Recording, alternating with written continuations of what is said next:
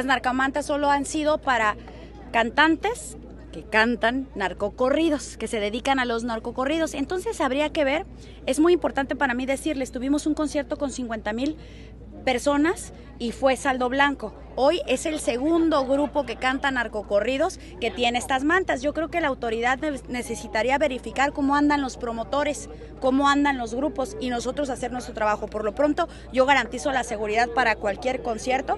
No puedo, no puedo controlar las manos de todos los ciudadanos eh, en crimen, en células criminales o no que pongan mantas, pero es importante saber en qué andan los cantantes y los promotores, porque me he dado la tarea de observar que ciertos cantantes solo le cantan a un grupo delictivo y otros a otro grupo delictivo. Entonces, ¿qué hay ahí adentro? ¿no? Eso es importante para mí mencionarlo. No es la responsabilidad plenamente del gobierno, sino también de los cantantes y de los promotores y, e investigarlos en qué están metidos.